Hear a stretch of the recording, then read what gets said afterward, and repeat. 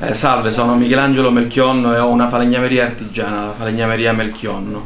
Sarò in piazza il 18 perché se rimaniamo nelle nostre botteghe i nostri problemi rimangono all'interno delle nostre sedi. Bisogna scendere in piazza per comunicarli e farli arrivare a tutti.